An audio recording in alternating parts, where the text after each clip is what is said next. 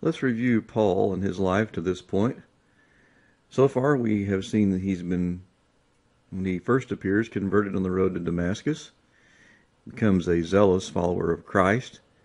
He receives a special revelation from the Lord that becomes the driving force of his life. And he starts churches in many places. To this point in our study, he has written two letters to the church in Thessalonica one to the churches in Galatia, two to the church in Corinth, and one to the church in Rome. Paul arrives in Jerusalem in Acts 21 15 through 26, and he is warned by the brothers in chapter 21, verses 20 through 25. When they heard this, they praised God. Then they said to Paul, you see, brother, how many thousands of Jews have believed, and all of them are zealous for the law. They have been informed that you teach all the Jews who live among the Gentiles to turn away from Moses, telling them not to circumcise their children, or live according to their customs. What shall we do? They will certainly hear that you have come. So do what we tell you. There are four men with us who have made a vow. Take these men join in their purification rites, and pay their expenses so that they can have their heads shaved.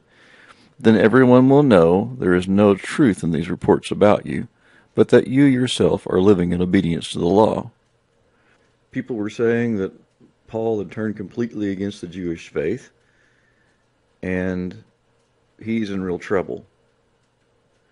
There's also four men who have taken a vow and the church leaders decide it would be a good idea if Paul joins with them. Apparently, this is some kind of temporary Nazarite vow, and the basis for that is in Numbers 6, verses 4 through 12, if you want to look that up. But apparently, they had had some contact with dead body of an animal or something and had become ritually unclean, and so the way to get started in purification rite was to shave their heads. And so Paul was going to join in them with this.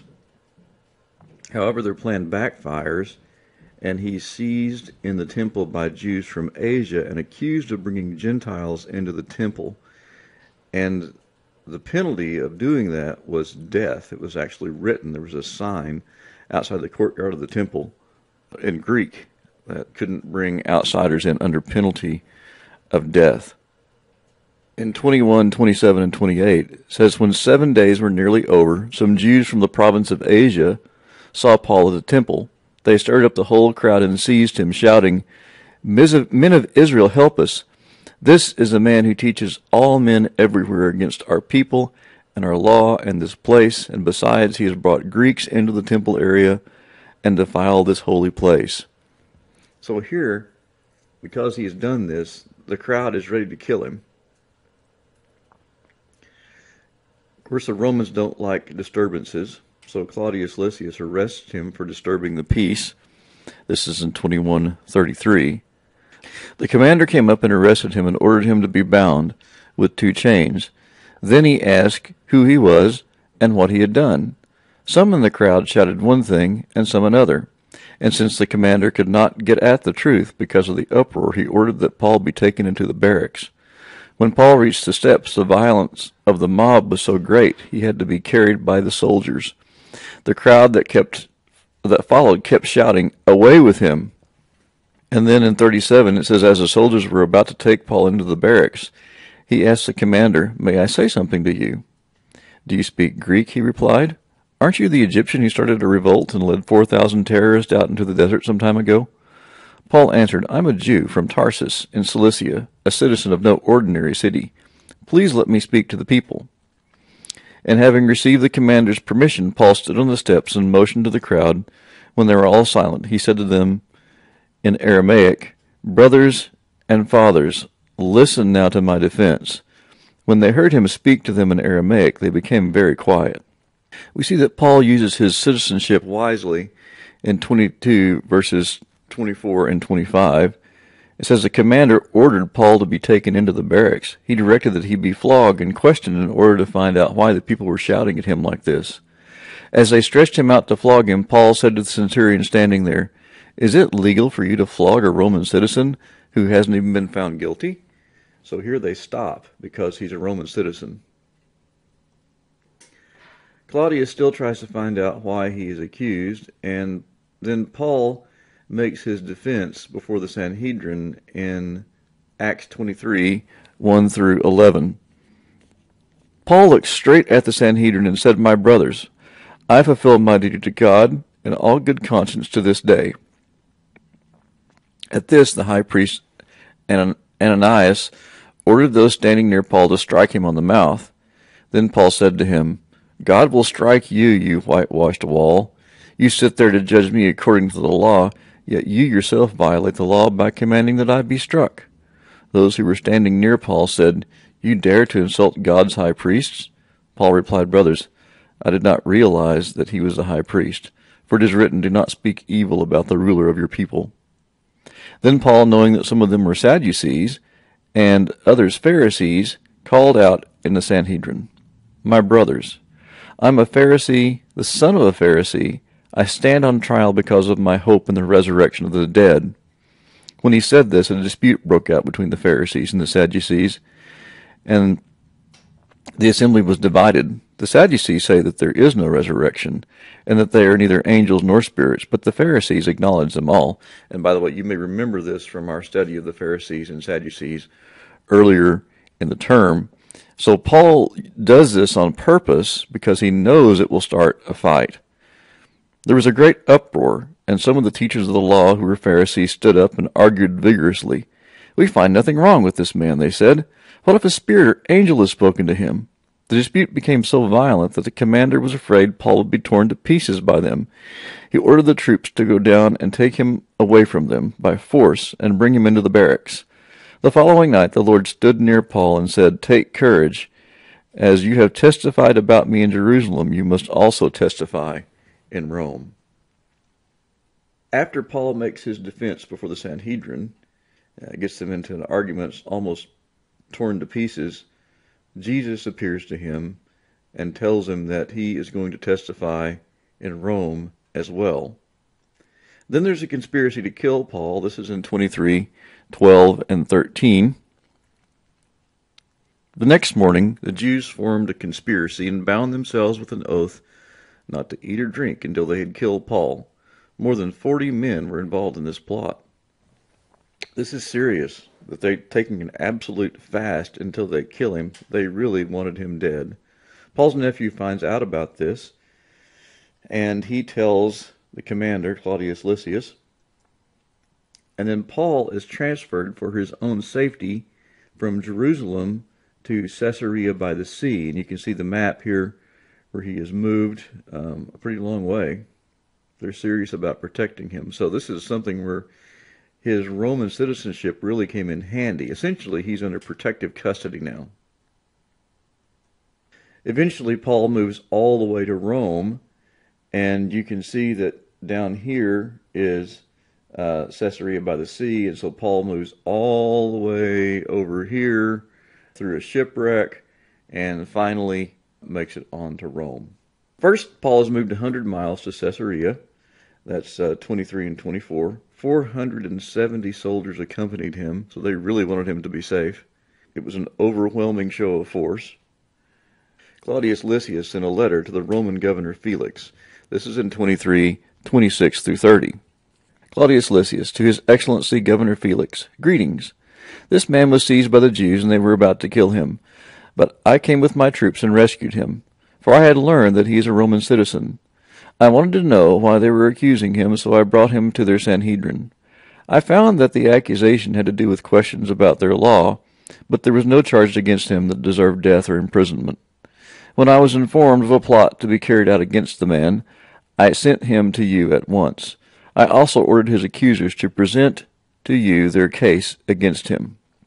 So it's interesting that Claudius actually here kind of mm, fudges with the details a little bit and makes it sound a little better than it was. He found out he was a Roman citizen, so he rescued him. It didn't quite work out like that, but oh well. Five days later, he has a, a hearing before Felix, and that is in Acts 24 1 through 27. The Jews come up with accusations, and this is in verse 5. We have found this man to be a troublemaker, stirring up riots among the Jews all over the world. He's a ringleader of the Nazarene sect. And then Paul's defense, he says that he is not he was not causing trouble. My accusers did not find me arguing with anyone at the temple, or stirring up a crowd in the synagogues, or anywhere else in the city. He also says that he is a Christian. However, I admit that I worship the God of our fathers as a follower of the way, which they call a sect. I believe everything that agrees with the law and that is written in the prophets. And I have the same hope in God as these men, that there will be a resurrection of both the righteous and the wicked. So I strive always to keep my conscience clear before God and man. Felix decides to wait to make a decision and places Paul under house arrest, and that is verses 22 and 23. And then he speaks to Paul from time to time for two years. Really, he's hoping for a bribe from Paul so he can be released, but he also kept Paul as a favor to the Jews. Felix is then replaced by Festus. This is Acts 25 1 through 22. And here the Jews present charges again while Festus is on tour in Jerusalem. And the Jews try to get him to bring Paul so they can ambush him in verse 2. Paul denies the charges. Festus wants a trial in Jerusalem to appease the Jews, but Paul refuses to go back to Jerusalem because he knows if he goes back there, they're going to kill him. So he appeals to Caesar. So this is 9 through 12. Festus, wishing to do the Jews a favor, said to Paul, Are you willing to go up to Jerusalem and stand trial before me there on these charges? Paul answered, I am now standing before Caesar's court, where I ought to be tried. I have not done any wrong to the Jews, as you yourself know very well. If, however, I am guilty of anything deserving death, I do not refuse to die. But if the charges brought against me by these Jews are not true, no one has a right to hand me over to them I appeal to Caesar. After Festus had conferred with his council, he declared, You have appealed to Caesar, to Caesar you will go. Then King Agrippa visits Festus to welcome him as a new governor. That's in chapter 25, verses 13 through 22. Paul makes his defense before Agrippa from 25:23 to 26:32. Part of this I think is kind of humorous, so I want to read it to you. But I have had God's help to this very day, and so I stand here and testify to small and great alike. I'm saying nothing beyond what the prophets and Moses said would happen, that the Christ would suffer, and as the first to rise from the dead would proclaim light to his own people and to the Gentiles. At this point Festus interrupted Paul's defense. You're out of your mind, Paul, he shouted. Your great learning is driving you insane. I am not insane, most excellent Festus, Paul replied. What I am saying is true and reasonable. The king is familiar with these things, and I can speak freely to him. I am convinced that none of this has escaped his notice because it was not done in a corner. King Agrippa, do you believe the prophets? I know you do. Then Agrippa said to Paul, Do you think that in such a short time you can persuade me to be a Christian? Paul replied, Short time or long, I pray God not only you, but all who are listening to me today may become what I am, except for these chains. So even Paul, making a defense, and as a prisoner, is still sharing the gospel. Paul is then sent to Rome. This is Acts 27 and 28. And this is in first person, so Luke is actually with him. They are going by ship. They intended to go to Phoenix, but instead they went to Malta. And in Acts 27 9, Paul predicts that disaster. Much time had been lost, and sailing had already become dangerous because by now it was after the fast. So Paul warned them, Men, I can see that our voyage is going to be disastrous and bring great loss to the ship and cargo and to our lives also. But they didn't listen to him, and the shipwreck is detailed in Acts 27 14 through 44. They arrive at Malta, washed up on shore. And this is verses 1 through 10. Once safely on shore, we found out that the island was called Malta. The islanders showed us unusual kindness. They built a fire and welcomed all welcomed us all because it was raining and cold.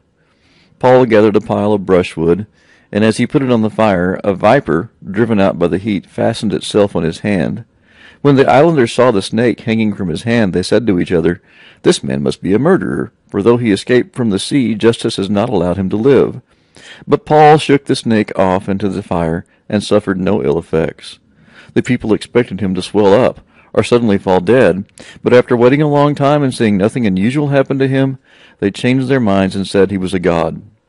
There was an estate nearby that belonged to Publius, a chief official to the island.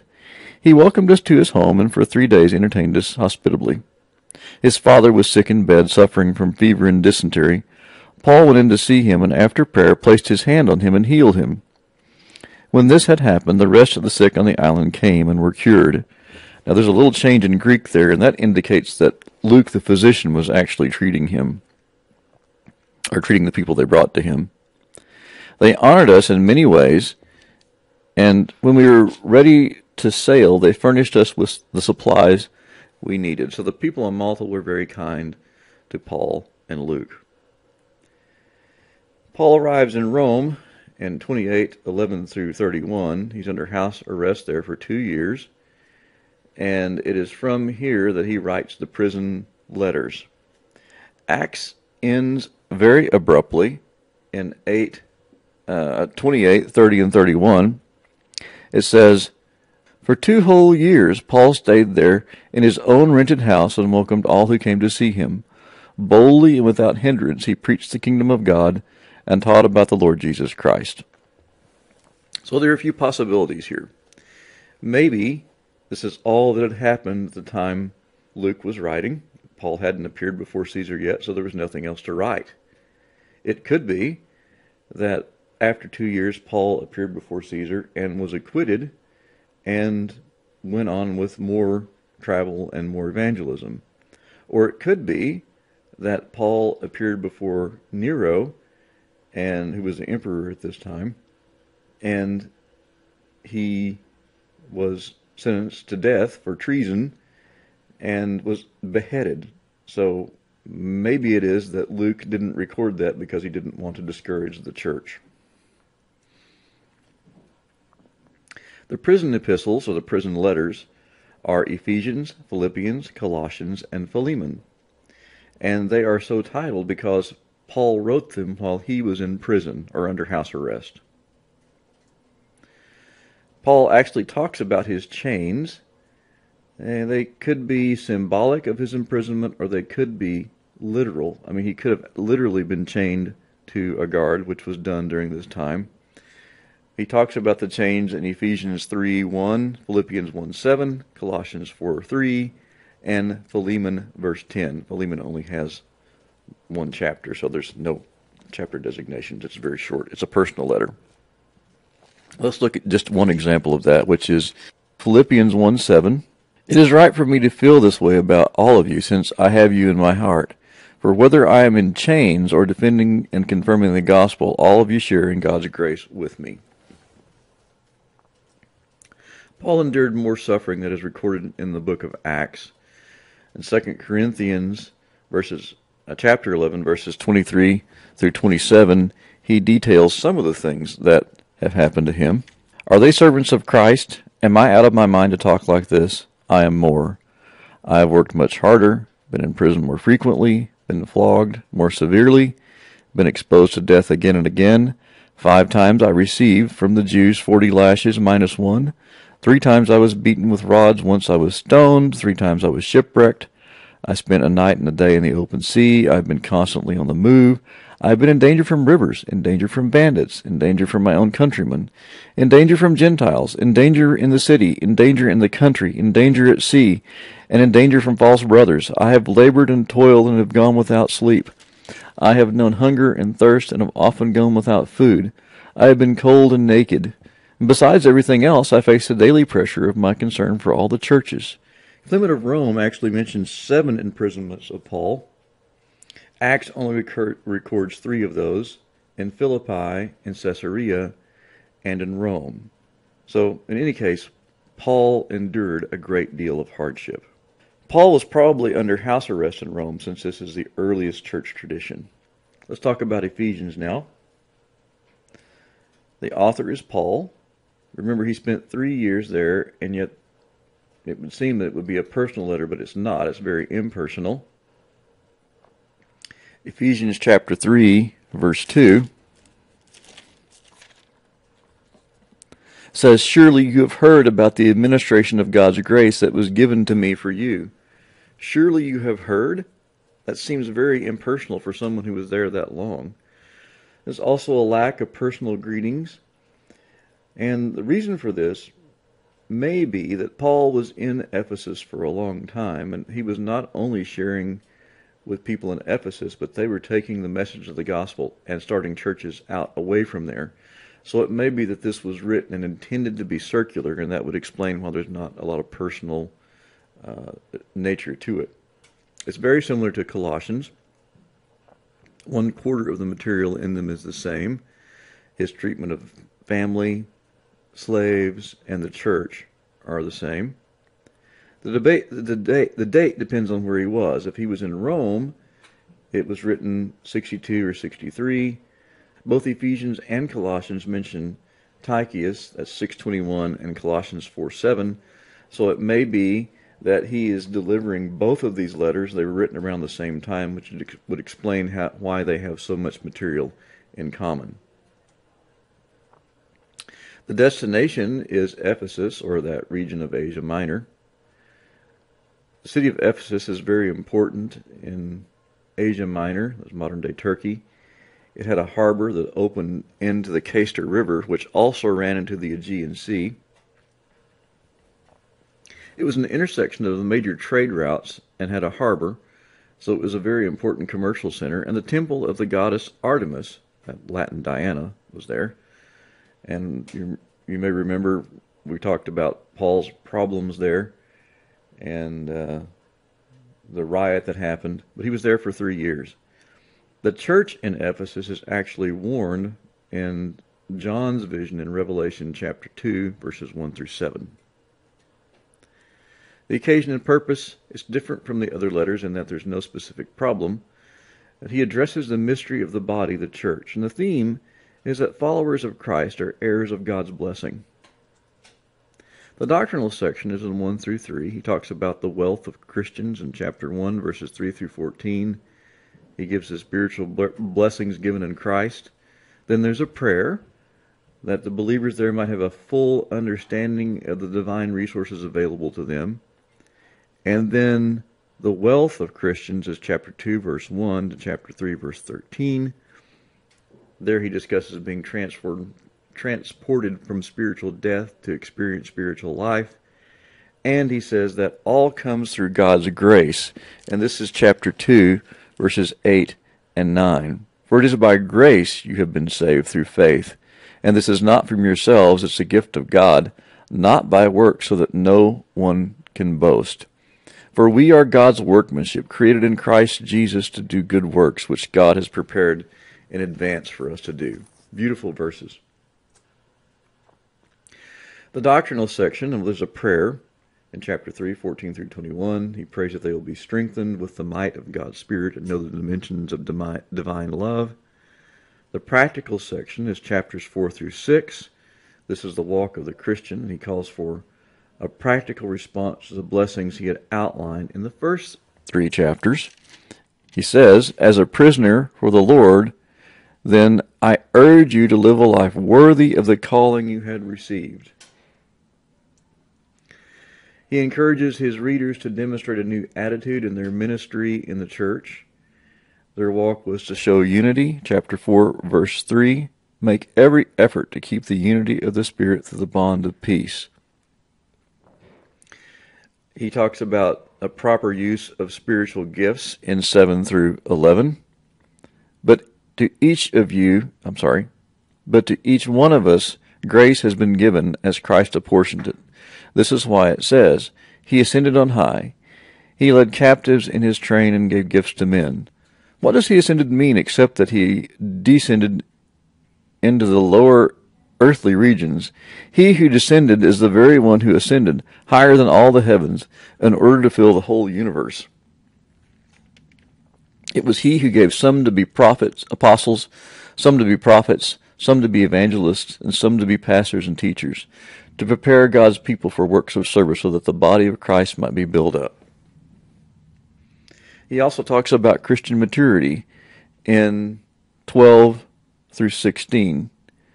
Until we all reach unity in the faith and in knowledge of the Son of God and become mature, attaining the whole measure of the fullness of Christ. Then we will no longer be infants tossed back and forth by waves and blown here and there by every wind of teaching and by the cunning and craftiness of men and their deceitful scheming. Instead, speaking the truth in love, we will in all things grow up into Him who is the head, that is Christ. From Him the whole body, joined and held together by every supporting ligament, grows and builds itself up in love as each part does its work. He also urges them to show a new relationship to one another and to walk in love and light. This is in 426. He says, in your anger, do not sin. Do not, do not let the sun go down while you are still angry. And 525. Husbands, love your wives just as Christ loved the church and gave himself up for her. And verse 28. In the same way, husbands ought to love their wives as their own bodies. He who loves his wife loves himself. And verse 33. However, each one of you must love his wife as he loves himself and the wife must respect her husband. We also compare, that with Galatians 3:28, which says, "There is neither Jew nor Greek, slave nor free, male nor female, for you're all one in Christ Jesus." And so uh, Paul is really bringing some revolutionary teaching um, about there being no distinction. He also addresses parents and children in chapter 6, verses 1 through 4. Children, obey your parents in the Lord, for this is right. Honor your father and mother, which is the first commandment, with a promise, that it may go well with you, that you may enjoy a long life on earth.